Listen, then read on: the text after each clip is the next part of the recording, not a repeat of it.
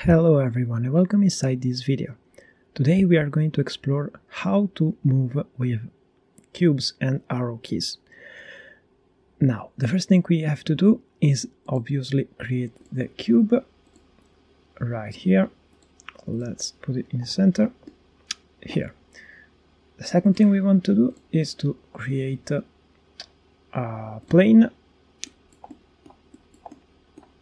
we want to do this because uh, it's a little bit better to look at. Let's uh, uh, assign them some material for colors. Red. It will look better this way. Okay, another black one.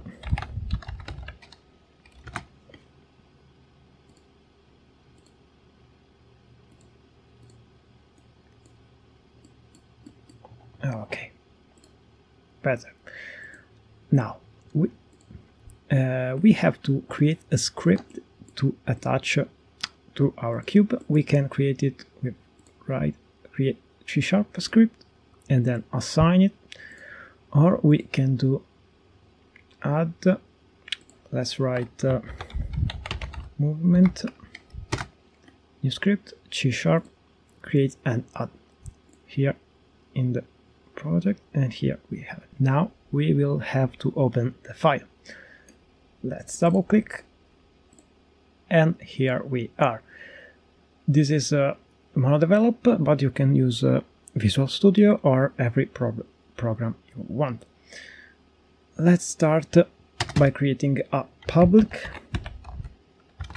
variable. It's a public variable because we want to be able to modify this variable not only through code, modifying every time here, but also inside Unity, inside the editor. And uh, maybe in the future we will need to modify this variable from other script and uh, we might still want to leave public. Uh, we want a float variable because uh, this is the speed variable and it will need to be uh, we might want uh, to lower this variable and uh, an only integer might be problematic. So we want to be able to use decimal numbers and we do it through float. The name speed and uh, done. Then right here in update we want to we want to create a variable, a float. This is a variable that uh, we will assign. This is a variable that will store if we press the button and what type of button, what type of variable, how much. Basically, we then write we write input because we want uh, to know when we pressed when we pressed something when we pressed a button and it's an input and then get axis raw. This basically is when we press uh, an arrow key uh, we have a variable for example left and right we have from minus 1 which is left to 1 which is right. And we want to do it from from horizontal. Then we want to do the same but for vertical, which is forward and back, and we change, we can copy, modify, vertical, and input that get axis raw vertical. Now, we have two variables that uh, are singular variable. We want to have the direction. So, can do vector 3, which is uh, this indicates a point inside the Unity, inside the workspace, inside the space in general. Name it, uh, we'll name it the direction and it's new vector free because we want to we want this variable to be a new vector free that is uh, horizontal which is uh, the x-axis then we want uh, 0 because we don't need to go up and down. We need to go forward and backwards which is uh, vertical right here and we end the line.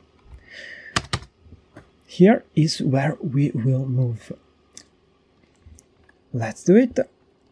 We need to have the object the game object. So we will write the game, game object which is uh, this variable is uh, referring to the game object this uh, script is attached to. In this case the cube dot transform transform is uh, a way to have information about the position the rotation and the scale of the game object dot translate. There are a ton of different ways to move but this is one of the most used. Here we will pass the direction. We want the direction but we want to have the direction dot normalized because because we if we pass the variable here direction uh, without normalized we will have to we will have a, a, a particular type of movement, movement because uh, it's a square. Because the horizontal and vertical are from minus 1 to 1 and it's uh, if we press two buttons at the same time we will go we will have a type of movement that is not really that accurate. We will not have a great uh, a great movement. We want that to be a, a circle round with a maximum size of 1 we want also to be not frame rate dependent because if someone have a computer different from someone else and have uh, a different frame rate. We don't want to the charter for example or indicate in this case the cube to move faster or slower. So we have to write multiply by time dot delta time which is the time from the last frame. Basically this uh, delete the frame rate dependency and we want also to be able to control how fast it will go. So we write we multiply by speed. Let's save it. File save or control s and let's go to unity. Here we are. Let's check our cube. Let's wait a little bit that it's saving let's add the speed for example 5 and let's start the movement. Let's play. And here we have our movement. Really nice and cool. Thank you for being here. This this is everything for now and let's see you to the next video. Bye bye